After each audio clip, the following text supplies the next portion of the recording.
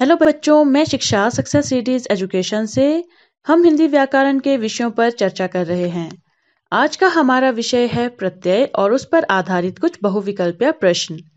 इस वीडियो में हम केवल प्रत्यय की परिभाषा और कुछ एमसीक्यूज पर चर्चा करेंगे, जिसके आधार पर हम आशा करते हैं कि ये प्रश्न आपकी परीक्षा में आपके लिए सहायक सिद्ध होंगे। इस वीडियो को हम नाइन्थ क्लास की परीक्षा के पाठ्यक्रम के आधार पर बना रहे हैं।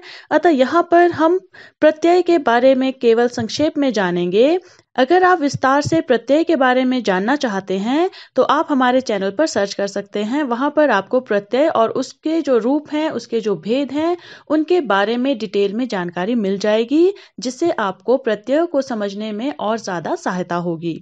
हम यहाँ पर केवल प्रत्यय के बारे में बहुत संक्षिप्त रूप में जानेंगे, ताकि आप जो है प्रत्यय के बारे में जान पाएँ कि प्रत्यय कहते किसे हैं और किस तरह से जो है प्रत्यय का प्रयोग प्रयोग होता है। तो ज़्यादा समय ना व्यर्थ गवाते हुए हम अपनी वीडियो पर आते हैं। सबसे पहले हम जानेंगे कि प्रत्यय किसे कहते हैं। जो शब्दांश शब्दों के अंत में जुड़कर अर्थ में परिवर्तन लाए प्रत्यय कहलाते हैं। दूसरे शब्दों में हम कह सकते हैं कि शब्द निर्माण के लिए शब्दों के अंत में जो शब्दांश जोड़े जाते हैं, वे प्रत्यय कहलाते हैं। आपको याद होगा, इससे पहले हमने उपसर्गों के बारे में पढ़ा था कि उपसर्ग किसे कहते हैं। उपसर्ग कहते हैं जो शब्द के शुरू में शब्दांश जोड़े जाते हैं, लेकिन प्रत्यय किसे कहते हैं? जो शब्द के अंत में शब्दांश जोड़े जाते हैं, यानी जो शुरू में जोड़ा जाए, वो होगा उपसर्ग, और जो अंत में जोड़ा जाएगा, उसे कहा जाएगा प्रत्यय। प्रत्यय भी जो है शब्दांश की तरह ही अर्थ में परिवर्तन लाता है। यानी शब्द को ही अलग रूप दे देता है और उसके अर्थ में भी परिवर्तन हो जाता है। यहाँ पर हम ये भी कहेंगे कि जो प्रत्यय है, वो उपसर्गों की तरह शब्दांश होते हैं। यानी वे शब्दों के बाद जोड़े जाते हैं और उपसर्ग शब्द से पहले जोड़े जाते हैं, केवल इतना ही अंतर है। प्रत्यय का अपना कोई अर्थ नहीं होता, जिस तरह उपसर्गों का भी कोई अर्थ नहीं होता था, और ना ही इनका कोई स्वतंत्र अस्तित्व होता है। यानी प्रत्यय और उपसर्ग दोनों में ये समानता है कि दोनों का जो है कोई भी अर्थ नहीं होता, दोनों जो है स्वतंत्र अस्तित्व नहीं रखते हैं, वे जो है केवल शब्दांश होते हैं जो शब्दों के शुरू में और अंत में जोड़े जाते हैं। शुरू में कौन सा जोड़ा जाएगा? शुरू में जोड़ा जाएगा उपसर्ग और अंत में कौन सा जोड़ा जाएगा? अंत में जोड़ा जाएगा प्रत्यय। ये आपने ध्यान रखना है। तो यहाँ पर यह भी कहा जा रहा है कि जो शब्द निर्माण है, उसके शब्द के अंत में जोड़े जाने वाला शब्दांश प्रत्यय कहलाता है। ये प्रत्यय की परिभाषा है। तो चलिए प्रत्यय को और अच्छे से समझते हैं। प्रत्यय जो है, वो दो शब्दों से मिलकर बना है, प्रति और अय। प्रति का अर्थ क्या है? प्रति का अर्थ होता है साथ में, प्रति का अर्थ होता है साथ में पर बाद में। और अय का अर्थ होता है चलने वाला, यानी प्रत्यय का अर्थ हुआ साथ में पर बाद में चलने वाला, यानी साथ में तो है लेकिन बाद में। इसका अर्थ क्या हुआ? जैसे हमने परिभाषा में पढ़ा था कि जो प्रत्यय है वो शब्द के बाद में चलता है, यानी बाद में जोड़ा जाता है। इसी तरह से यहाँ पर जो प्रत्यय है उसका शाब्दिक अर्थ क्या निकला? साथ में पर बाद में चलने वाला। जैसे यहाँ पर आप उदाहरण देखिए, समाज जमा इक। यहाँ पर इक जो है, वो क्या है? एक प्रत्यय है और वो क्या है? समाज जो शब्द है, उसके साथ जोड़ा जा रहा है और जब समाज में इक जोड़ा जाएगा तो क्या बन जाएगा? सामाजिक। उसी तरह से सुगंध में इत जोड़ा जाए तो बनेगा सुगंधित। भूलना में अक्कड़ जोड़ा जाए तो बनेगा भुलक्कड़। और मीठा में आस जोड़ा जाए तो बनेगा मिठास। ये जो उपरोक्त शब्द हैं, यानी इकड़ और आस, ये शब्दांश क्या है? ये प्रत्यय है, यानी शब्द के बाद जोड़े जा रहे हैं, और शब्द में जब ये प्रत्यय जुड़ रहे हैं तो वो अर्थ को भी बदल रहे हैं और शब्द को भी बदल रहे हैं, यानी वो शब्द और अर्थ दोनों में परिवर्तन ला रहे हैं। इस तरह से जो है प्रत्यय काम करते हैं और प्रत्यय को शब्द में जोड़ा जाता है। और आपने देखा होगा कि जब ये शब्द में जुड़ रहे हैं तो जो शब्द हैं, वो बिल्कुल ही अलग जो है वो प्रतीत हो रहा है। अब हम प्रत्यय के भेदों के बारे में जानेंगे। जो प्रत्यय के भेद हैं, वो दो तरह के कहे गए हैं, कृत और तथित आप यहाँ पर चार्ट में देख सकते हैं, जो कृत प्रत्यय है, वो आगे जो है, पाँच प्रकार का कहा गया है, कृतवाचक, कर्मवाचक, करणवाचक, भाववाचक और क्रियावाचक। उसी तरह से जो तथित प्रत्यय है, वो आगे जो है, छह तरह का कहा गया है, कृतवाचक, भाववाचक, संबंध या गुणवाचक, अपत्यवाचक उनतावाचक और स्त्रीवाचक। ये जो है तथित और कृत के आगे भेद हैं, लेकिन यहाँ पर जो है हम इनके बारे में चर्चा नहीं करेंगे। अगर आपको जो है कृत प्रत्यय और तथित प्रत्यय के बारे में डिटेल में जानना है तो आप हमारे चैनल पर सर्च कर सकते हैं। वहाँ पर आपको कृत प्रत्यय और तथित प्रत्यय पे अलग अलग वीडियो मिल जाएगी, जहाँ पर आप इनके बारे में बहुत अच्छे से पढ़ पाएँगे। यहाँ पर हम केवल थोड़ा सा संक्षेप में कृत प्रत्यय और तथित प्रत्यय के बारे में जानेंगे। तो चलिए सबसे पहले हम कृत प्रत्यय के बारे में जान लेते हैं कि कृत प्रत्यय प्रत्यय किसे कहते हैं?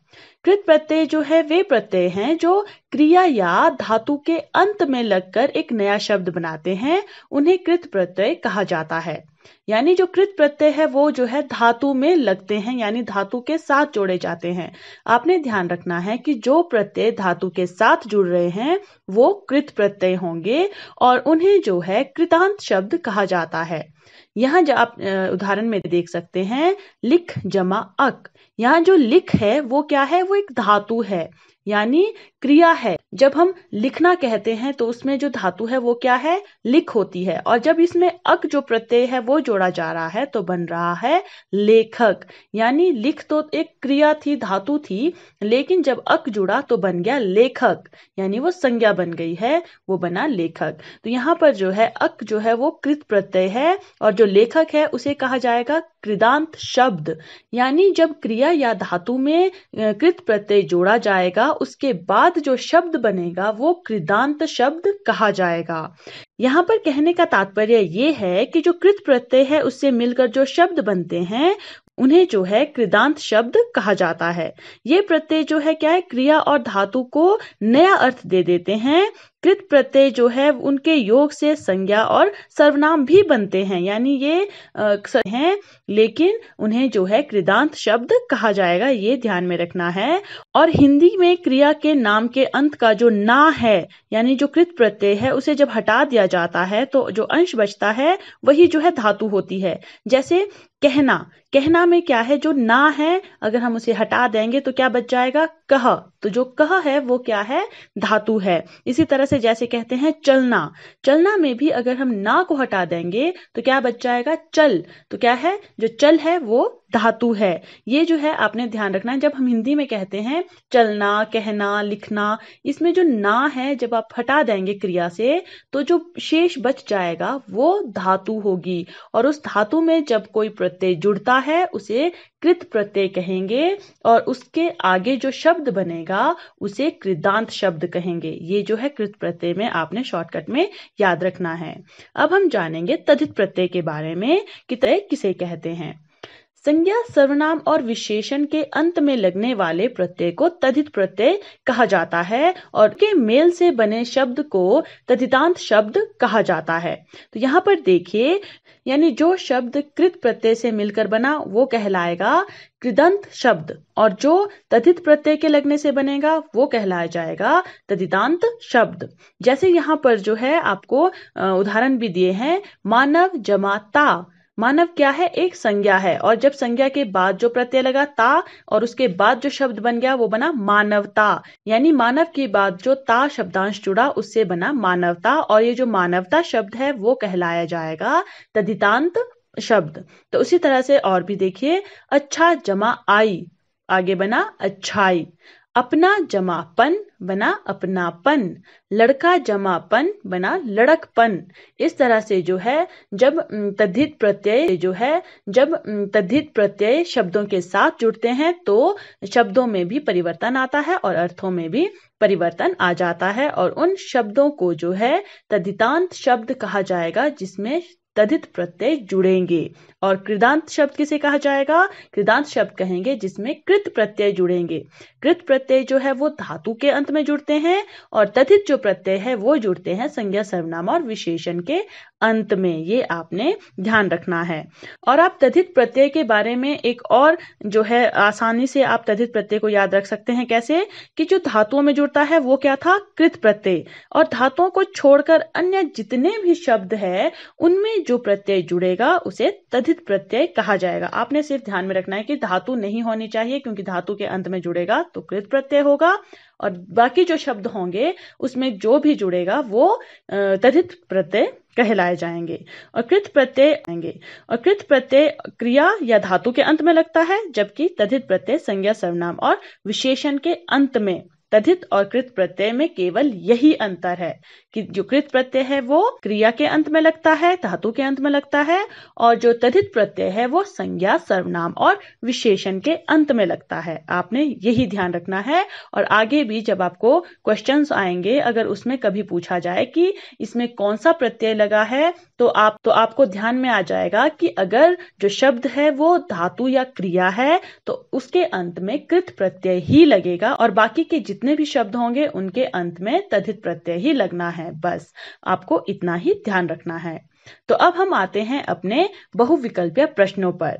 यहाँ पर हम प्रत्यय के बारे में कुछ बहुविकल्पीय प्रश्नों पर चर्चा करेंगे, जिसके आधार पर हम आशा करेंगे कि वो आपकी परीक्षा में आपके लिए सहायक सिद्ध होंगे। तो चलिए प्रश्नों को शुरू करते हैं।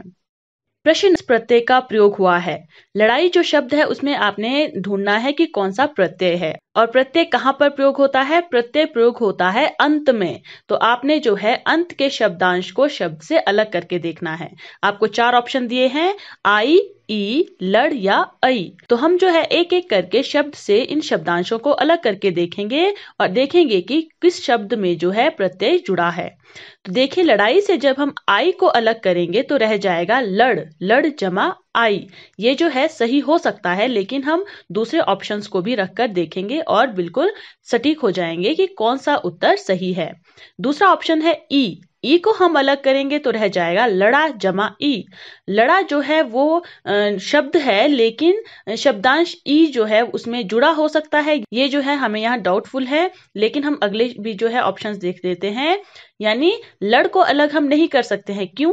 क्योंकि प्रत्यय जो है वो अंत में जुड़ते हैं और जो लड़ है वो लड़ाई जो शब्द है उसके अंत में नहीं है, बल्कि प्रारंभ में है, शुरू में है।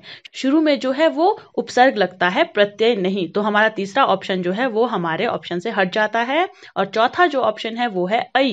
ऐ को अगर हम लड़ाई शब्द से अलग करेंगे तो रह जाएगा लड़ा जमा ऐ। लड़ा जमा ऐ या लड़ जमा ऐ। ऐसा भी कर सकते हैं, लेकिन ऐ भी जो है वो यहाँ पर गलत होगा। हम जो है दो ऑप्शंस में कंफ्यूज हो सकते हैं आई या ई में। तो आई और ई में जो है कौन सा प्रत्यय जो है वो लड़ाई शब्द में जुड़ा है? अब आप लड़ाई शब्द को देखिए। लड़ाई में जो है वो क्रिया क्या है? लड़ना। लड़ना में जब हम ना को अलग कर देंगे तो रह जाएगा लड़, यानी लड़ जो है वो धातु है। और जब धातु में हम यहाँ पर लड़ रखेंगे तो हम जब शब्द से शब्दांश अलग करेंगे तो क्या अलग कर पाएँगे? आई। तो इसी तरह से हमने देखना है कि आपके पास शब्द क्या है और आप किस तरह से जो है शब्द से से क्रिया या धातु या फिर किसी शब्द को अलग कर सकते हैं ताकि आपको सही प्रत्यय जो है वो हासिल हो जाए। तो यहाँ पर हमारा सही प्रत्यय हमें क्या मिला है? आई, यानी लड़ जो है वो एक धातु है और उसमें जो है आई जो प्रत्यय है वो प्रयोग हुआ है तब जाके बना है लड़ाई शब्द। और यहाँ पर जो है किस प्रत्यय का प्रयोग हुआ है? कृत प्रत्यय का, क्योंकि धातु या क्रिया में कौन सा प्रत्यय लगता है? कृत प्रत्यय, और आई जो है वो कृत प्रत्यय है। तो लड़ाई शब्द में जो है आई प्रत्यय का प्रयोग हुआ है, यानी हमारा पहला ऑप्शन सही उत्तर है। दूसरा प्रश्न है, झाड़ू शब्द में किस प्रत्यय का प्रयोग हुआ है? इसी तरह से हम देखेंगे कि शब्द हमारे पास झाड़ू है और हम किस प्रत्यय को अलग कर सकते हैं, यानी शब्दांश को हम किस शब्दांश को अलग कर सकते हैं, जिससे हमारे पास शब्द या धातु या क्रिया बच जाए। तो यहाँ पर हमारे पास चार ऑप्शन है, आड़ू, अड़ू, ऊ या ऊ। तो यहाँ पर हम झाड़ू शब्द से एक एक जो हमारे शब्दांश दिए हैं हमें, जो हमारे ऑप्शन हैं, उन्हें रखकर देखेंगे, अलग करके देखेंगे। तो झाड़ू से आड़ू अलग किया तो क्या रहा? झ। और झ जो है, ना ही कोई शब्द है और ना ही धातु या क्रिया है। तो हमारा पहला जो उत्तर है, वो हमें गलत प्रतीत हो रहा है। तो जो दूसरा है, वो है अड़ू। अड़ू अलग करेंगे तो भी या तो झा शब्द बचेगा या फिर झ बचेगा तो वो भी हमारा गलत होगा क्योंकि झा भी जो है, वो कोई शब्द या धातु या क्रिया नहीं है। तो ऊ को अलग करेंगे तो रह जाएगा झाड़ जमा ऊ। झाड़ जो है, वो शब्द है तो हम ऊ को जो है अलग कर सकते हैं, यानी ये हमारा प्रत्यय हो सकता है, लेकिन हम चौथे ऑप्शन को भी देख लेते हैं, चौथा ऑप्शन भी ऊ है, लेकिन जो चौथा है वो छोटा ऊ है, और छोटा ऊ की मात्रा इस तरह के जो हमारे पास शब्द है, झाड़ू, वैसी नहीं होती है, वो डिफरेंट होती है तो यहाँ पर जो है हमारा तीसरा ऑप्शन जो है वो हमारा सही प्रत्यय है, सही उत्तर है तो यहाँ पर जो है झाड़ू शब्द में ऊ प्रत्यय का प्रयोग हुआ है। तीसरा प्रश्न है, रसीला शब्द में किस प्रत्यय का प्रयोग जो रसीला शब्द है, उसमें हम देखेंगे कि हम किस शब्दांश को अलग कर सकते हैं। तो हमारे पास चार ऑप्शन है, ला, सीला, ईला या रस। तो यहाँ पर जो हमारा पहला ऑप्शन है ला। अगर हम उसे रसीला शब्द से अलग करते हैं तो हमारे पास रह जाएगा रसी, यानी रसी जमा ला। तो रसी जमा ला जो है, वो यहाँ पर हमारा सही उत्तर हमें नहीं लग रहा है। दूसरा शब्द है सीला, यानी अगर हम सीला को अलग कर देंगे तो रह जाएगा र। तो र तो ना तो कोई शब्द है, ना क्रिया धातु है तो ये भी हमें गलत लग रहा है। तीसरा है इला इला हम अगर अलग करते हैं तो रह जाता है रस। जमा इला। ये हमारा सही उत्तर हो सकता है, क्योंकि जो रस है, वो एक शब्द है, और शब्द से जो है हम इला जो शब्दांश है, उसे अलग कर सकते हैं। चौथा ऑप्शन भी हम देख लेते हैं। चौथा ऑप्शन है रस।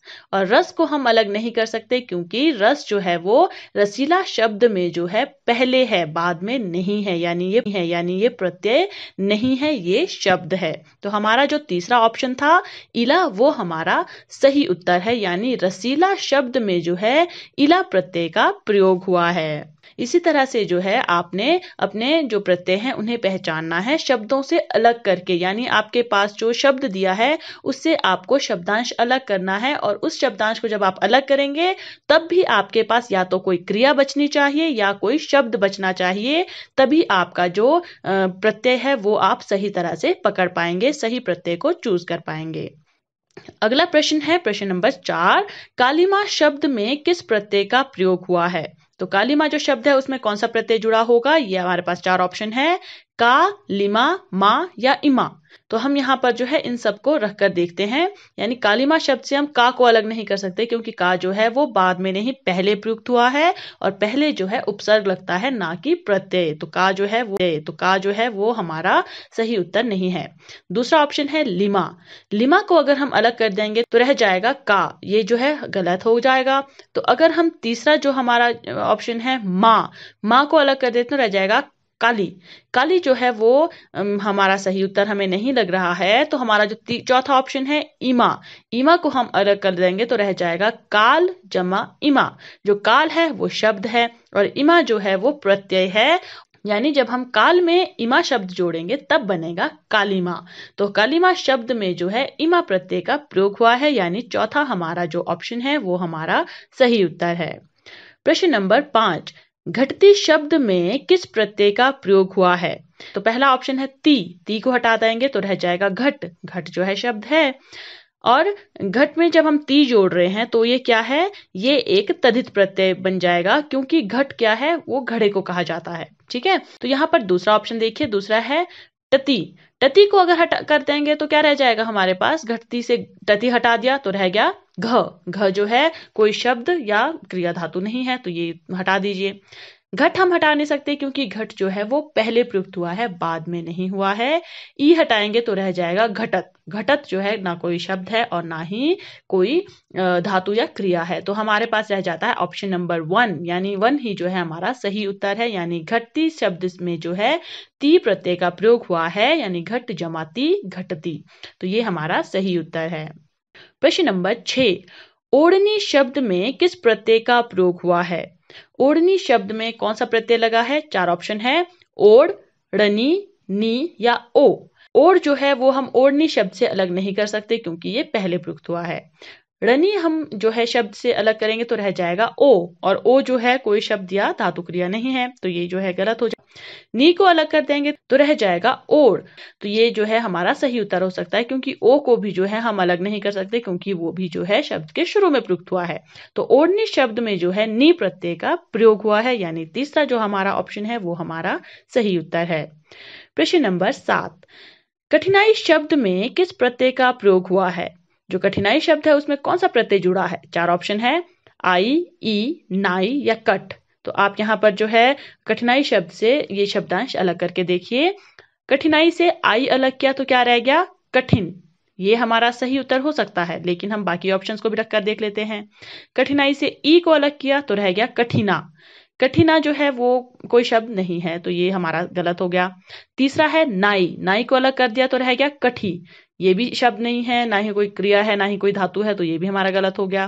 कट को हम अलग नहीं कर सकते क्योंकि ये प्रत्यय नहीं है, क्योंकि ये शब्द के शुरू में प्रयुक्त हुआ क्या है हमारा जो पहला ऑप्शन है आई वो हमारा सही उत्तर है, क्योंकि कठिनाई शब्द से अलग हम आई करेंगे तो रह जाएगा कठिन जमा आई यानी कठिनाई शब्द में आई प्रत्यय का प्रयोग हुआ है। यानी हमारा पहला जो हमारा ऑप्शन है, वो हमारा सही उत्तर है। प्रश्न नंबर आठ, चालू शब्द में किस प्रत्यय का प्रयोग हुआ है? चार ऑप्शन है, लू, आलू, चा या ऊ। तो हम चालू शब्द से जो है, हर एक शब्दांश को अलग करके देखेंगे। चालू से लू अलग किया तो रहा चा। यानी ये हमारा सही उत्तर नहीं हो सकता। दूसरा है आलू। आलू अलग किया तो रह गया च। ये भी हमारा सही उत्तर नहीं हो सकता। चा को हम अलग नहीं कर सकते क्योंकि ये शब्द के शुरू में प्रयुक्त हुआ है। ऊ को अलग किया तो रहा चाल, यानी चाल जमा ऊ बना चालू। तो ये जो है हमारा सही उत्तर है, यानी चौथा जो हमारा ऑप्शन है, वो सही है। चालू शब्द में जो है ऊ प्रत्यय का प्रयोग हुआ है। प्रश्न नंबर नौ। वास्तविक शब्द में किस प्रत्यय का प्रयोग हुआ है? जो वास्तविक शब्द है, उसमें कौन सा प्रत्यय जुड़ा है? ये हमने ढूंढना है। चार ऑप्शन है, विक, इक, वा या वास। तो यहाँ पर देखिए, विक विक अलग किया तो रह गया वासत। वासत जो है, वो कोई शब्द नहीं है। इक अलग किया तो रहा वास्तव। वास्तव जो है वो शब्द है तो ये हमारा उत्तर हो सकता है। बाकी भी देख लेते हैं। वाह हम अलग नहीं कर सकते क्योंकि ये शब्द के शुरू में प्रयुक्त हुआ है। वास भी हम जो है शब्द से अलग नहीं कर सकते क्योंकि ये भी शब्द के शुरू में प्रयुक्त हुआ है। तो हमारा जो दूसरा ऑप्शन है इक, वो हमारा सही उत्तर है।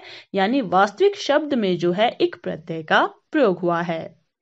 प्रश्न नंबर दस, सामाजिक शब्द में किस प्रत्यय का प्रयोग हुआ है? जो सामाजिक शब्द है, उसमें कौन सा प्रत्यय जुड़ा है? चार ऑप्शन है, विक, इक, वा या वास। तो यहाँ पर आप कंफ्यूज हो सकते हैं कि जो यहाँ पर शब्दांश दिए गए हैं, उनमें से जो है तीन शब्दांश ऐसे हैं, जो सामाजिक शब्द में प्रयुक्त ही नहीं हुए हैं। आपको इस तरह से कंफ्यूज करने के लिए भी जो है शब्दांश दिए जा सकते हैं, जैसे विक, वा या वास। इसे जो है सामाजिक शब्द में कहीं भी प्रयुक्त नहीं किया गया है। तो यहाँ पर केवल जो दूसरा ऑप्शन है इक, वो हमारा सही उत्तर है कि समाज जमा इक बना सामाजिक।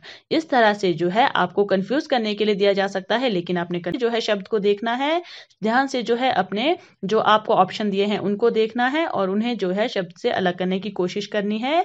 लेकिन अगर वहाँ पर कोई ऐसे शब्दांश दिए हैं जो आपके शब्द के साथ जो है मेल नहीं खा रहे हैं तो आपको उन्हें पहले ही अलग कर देना है। तो जो अंत में जो बचेगा, उसे जो है आपने अपने शब्द से अलग करके देखना है और देखना है कि क्या वो आपके शब्द में है और अगर आपके शब्द में है तो उसको अलग करके जो है, क्या आपके पास कोई शब्द सही बच रहा है या धातु सही बच रही है, तब जाके जो है आप अपने उत्तर को टिक कर सकते हैं। तो यहाँ सामाजिक शब्द में जो है एक शब्द का तो यहाँ पर जो है सामाजिक शब्द में एक प्रत्यय का प्रयोग हुआ है, यानी हमारा जो दूसरा ऑप्शन है, वो हमारा सही उत्तर है।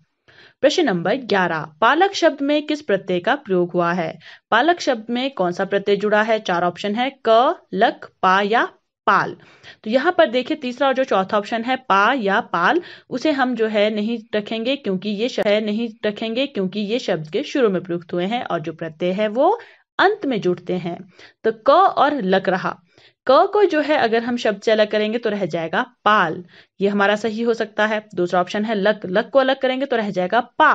पा जो है कोई शब्द या धातु या क्रिया नहीं है तो हमारा जो पहला ऑप्शन है क, वो हमारा सही उत्तर है, यानी पाल जमा क, पालक। तो जो ये हमारा पहला ऑप्शन है, वो हमारा सही उत्तर है।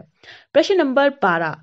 मरियल शब्द में किस प्रत्यय का प्रयोग हुआ है? जो मरियल शब्द है, उसमें कौन सा प्रत्यय जुड़ा है? चार ऑप्शन है। यल, ल, मरी या यल तो यल जो है, अगर हम अलग करेंगे तो रह जाएगा मरी। मरी जो है, कोई शब्दांश नहीं है, कोई शब्द नहीं है, या कोई धातु प्रत्यय भी नहीं है। ल को अलग किया तो रह गया मरिया। मरिया भी जो है, कोई शब्द नहीं है। मरी को अलग नहीं कर सकते, क्योंकि ये शब्द के शुरू में प्रयुक्त हुआ है तो हमारे पास बचा चौथा ऑप्शन यल यल को अगर आप अलग करेंगे तो क्या रह जाएगा? मर जमा यल तब बनेगा मरियल, यानी मर जो है वो शब्द है। इसलिए जो हमारा चौथा ऑप्शन है यल वो हमारा सही उत्तर है, यानी मरियल शब्द में जो है यल प्रत्यय का प्रयोग हुआ है। प्रश्न नंबर तेरह।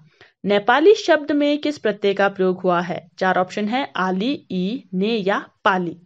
अब यहाँ पर आली को अलग करेंगे तो रह जाएगा नेप। नेप कोई शब्द नहीं है। ई को अलग करेंगे तो रह जाएगा नेपाल। नेपाल जो है, शब्द है, ये हमारा सही उत्तर हो सकता है। बाकियों को भी देख लीजिए।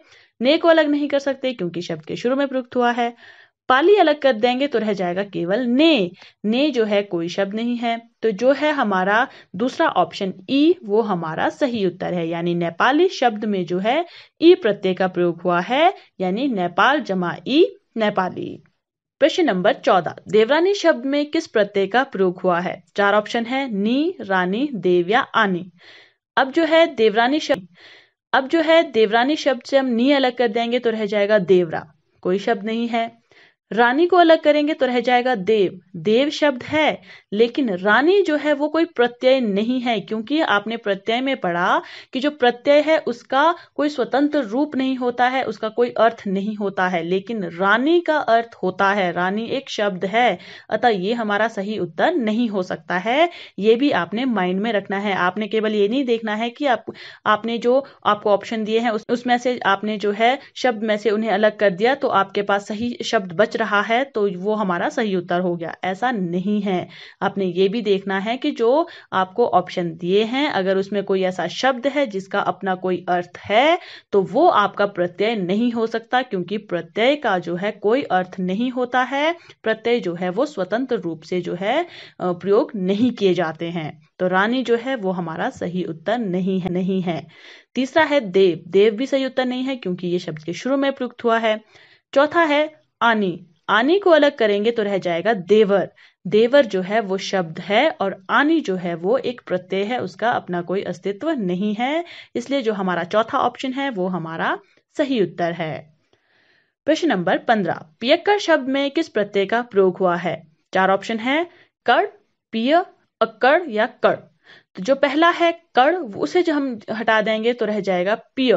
पिय जो है वो कोई शब्द नहीं है।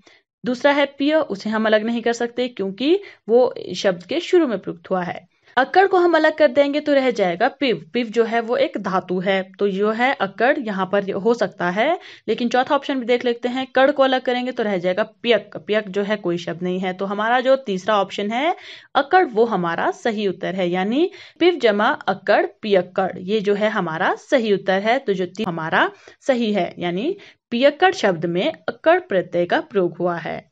प्रश्न नंबर 16 मार्मिक शब्द में किस प्रत्यय का प्रयोग हुआ है? मार्मिक जो शब्द है उसमें कौन सा प्रत्यय जुड़ा है? माँ, मर्म, रक या इक। तो यहाँ पर हम अलग करके देखेंगे, माँ को अलग नहीं कर सकते क्योंकि वो शब्द के शुरू में प्रयुक्त हुआ है। मर्म को भी हम अलग नहीं कर सकते, क्योंकि वो भी शब्द के शुरू में प्रयुक्त हुआ है। रक को अलग करेंगे तो रह जाएगा मामी। मामी जो है कोई कोई शब्द नहीं है, यानी अगर ईक जो है, उसकी मात्रा बड़ी ई की होती तो भी जो है एक शब्द बन जाता, लेकिन मामी जो है वो शब्द नहीं है। इक को अलग करेंगे तो रह जाएगा मर्म। मर्म जो है वो एक शब्द है और इक जो है वो प्रत्यय है। तो यहाँ पर जो है मार्मिक शब्द में एक प्रत्यय का प्रयोग हुआ है, यानी चौथा ऑप्शन हमारा सही उत्तर है। प्रश्न नंबर सत्रह, चुनौती शब्द में किस प्रत्यय का प्रयोग हुआ है? अवती ती, चुन या नौती? अब अवती को आप अलग करेंगे तो रह जाएगा चुन। चुन, जो शब्द है, ये सही उत्तर हो सकता है, लेकिन बाकियों को भी देख लेते हैं। ती को हम अलग करेंगे तो रह जाएगा चुनऊ। चुनऊ जो है वो कोई शब्द नहीं है। तो ये जो है गलत है। चुन जो है वो हम अलग नहीं कर सकते, क्योंकि शब्द के शुरू में प्रयुक्त हुआ है। नौती को अलग करेंगे तो रह जाएगा चू। चू भी जो है वो कोई शब्द नहीं है। तो यहाँ पर जो है, जो हमारा पहला ऑप्शन है अवती वो हमारा सही उत्तर होगा, यानी चुनौती शब्द में जो है अवती प्रत्यय का प्रयोग हुआ है। प्रश्न नंबर अठारह। भारतीय शब्द में किस प्रत्यय का प्रयोग हुआ है? चार ऑप्शन है, ईय, तीय, भार या भारत। तो यहाँ पर देखिए, जो भार और भारत है, तीसरा और चौथा, वो सही उत्तर नहीं है, क्योंकि वो शब्द के शुरू में प्रयुक्त हुए हैं। दो ऑप्शन रह जाते हैं, ईय या तीय। तीय को अगर हम अलग करेंगे तो रह जाएगा भार। भार जमा तीय। भार जो है, वो शब्द है, लेकिन तीय जो है, वो प्रत्यय नहीं है। ईय को अलग करेंगे तो रह जाएगा भारत। भारत जो है, वो ईय प्रत्यय है। तो हमारा जो पहला ऑप्शन है ईय वो हमारा सही उत्तर है, यानी भारतीय शब्द में जो है ईय प्रत्यय का प्रयोग हुआ है। प्रश्न नंबर 19 ढलाऊ शब्द में किस प्रत्यय का प्रयोग हुआ है? चार ऑप्शन है, ढल, ऊ, लाऊ या आओ तो यहाँ पर देखिए, ढल को हम अलग करेंगे। वो नहीं कर सकते, क्योंकि ढल जो है, वो शुरू में प्रयुक्त हुआ है और शुरू में उपसर्ग प्रयुक्त होते हैं, प्रत्यय नहीं। दूसरा ऑप्शन है उ यानी ढला जमा उ ये भी सही उत्तर हो सकता है। तीसरा देखिए, तीसरा है लाउ लाउ को अगर अलग करेंगे तो रह जाएगा ढ। ढ जो है, वो कोई शब्द नहीं है, कोई धातु नहीं है, क्रिया नहीं है, ये भी नहीं होगा। चौथा है आउ आउ को अलग करेंगे तो रह जाएगा ढल जमा आउ ढल जो है, वो एक शब्द है। तो यहाँ पर क्या है? हमारे पास दो है, दूसरा और चौथा। उसमें हमें जो है कंफ्यूजन है, यानी ढला जमा ऊ या ढल जमा आऊ। तो यहाँ पर जो है हमारा चौथा ऑप्शन सही है, यानी ढल जो है वो शब्द है और आऊ जो है वो प्रत्यय है, यानी ढलाऊ शब्द में जो है आऊ प्रत्यय का प्रयोग हुआ है, यानी चौथा उत्तर हमारा सही है। प्रश्न नंबर बीस। दक्षिणी शब्द में किस प्रत्यय का प्रयोग हुआ है? दक्षिणी जो शब्द है उसमें कौन सा प्रत्यय जुड़ा है? चार ऑप्शन है, नी ई, दक्ष या इणी। तो यहाँ पर देखिए, इणी को अलग करेंगे तो क्या रह जाएगा? दक्षी। वो कोई शब्द नहीं है। ई को अलग करेंगे तो रह जाएगा दक्षिण। दक्षिण जो है वो शब्द है। दक्ष को अलग नहीं कर सकते क्योंकि वो शब्द के शुरू में प्रयुक्त हुआ है। इणी को अलग करेंगे तो रह जाएगा दक्ष। दक्ष भी शब्द है, लेकिन इणी जो है वो प्रत्यय नहीं है। अतः हमारा जो दूसरा ऑप्शन है ई, वो हमारा सही उत्तर है। यानी दक्षिण शब्द में जो है, ई प्रत्यय जुड़ा, तब बना दक्षिणी। यानी दक्षिणी शब्द में ई प्रत्यय का प्रयोग हुआ है, दूसरा हमारा सही ऑप्शन है। प्रश्न नंबर 21 कतरनी शब्द में किस प्रत्यय का प्रयोग हुआ है? नी, रनी, कतर या ई? तो यहाँ पर देखिए, नी को अलग करेंगे तो रह जाएगा कतर। कतर है। ये हमारा सही उत्तर हो सकता है। बाकी भी देख लेते हैं। रनी को अलग करेंगे तो रह जाएगा कत। कोई शब्द नहीं है। कतर हम अलग नहीं कर सकते क्योंकि वो शब्द के शुरू में प्रयुक्त हुआ है। ई को अलग करेंगे तो रह जाएगा कतरन। ये भी कोई शब्द नहीं हुआ तो हमारे पास क्या है? पहला ऑप्शन रह गया है नी। यानी नी को अलग किया तो रहा कतर। यानी कतरनी शब्द में जो है नी प्रत्यय का प्रयोग हुआ है। यानी पहला ऑप्शन हमारा सही उत्तर है। प्रश्न नंबर बाईस। गुणवान शब्द में किस प्रत्यय का प्रयोग हुआ है? यहाँ पर हमारे पास चार ऑप्शन है, न, आन, वान या गुण। न को अलग किया तो रहा गुणवा। गुणवा जो है, कोई शब्द नहीं है। आन को अलग किया तो रह गया, तब भी गुणव रह गया। गुणव भी कोई शब्द नहीं है। वान को अलग किया तो रह गया गुण। ये हमारा सही उत्तर हो सकता है। गुण को अलग नहीं कर सकते क्योंकि शब्द के शुरू में प्रयुक्त हुआ है, यानी तीसरा ऑप्शन हमारा सही उत्तर है, यानी गुणवान शब्द में जो है, वान प्रत्यय का प्रयोग हुआ है। प्रश्न नंबर तेईस। बनावट शब्द में किस प्रत्यय, बनावट शब्द में किस प्रत्यय का प्रयोग हुआ है? चार ऑप्शन है, बन, वट, आवट या बान। तो यहाँ पर देखिए, बनावट शब्द से हम बन शब्दांश को अलग नहीं कर सकते क्योंकि शब्द के शुरू में प्रयुक्त हुआ है। वट को अलग करेंगे तो बजा बना। बना जो है वो शब्द है, लेकिन वट जो है वो कोई प्रत्यय नहीं है। आवट आवट जो है, अगर हम बनावट से अलग करेंगे तो रह जाएगा बन जमा आवट। ये सही उत्तर हो सकता है। बना को अलग नहीं कर सकते क्योंकि वो प्रत्यय नहीं है, वो शब्द के शुरू में प्रयुक्त हुआ है। तो आवट जो है, वो हमारा सही उत्तर हो गया क्योंकि बन जमा आवट, यानी बनावट यानी बनावट शब्द में जो है, आवट प्रत्यय का प्रयोग हुआ है। तीसरा ऑप्शन हमारा सही उत्तर है। प्रश्न नंबर चौबीस। वैज्ञानिक शब्द में किस प्रत्यय का प्रयोग हुआ है? चार ऑप्शन है, विज्ञान वैज्ञानिक या इक। तो विज्ञान को अलग नहीं कर सकते क्योंकि शब्द के शुरू में प्रयुक्त हुआ है।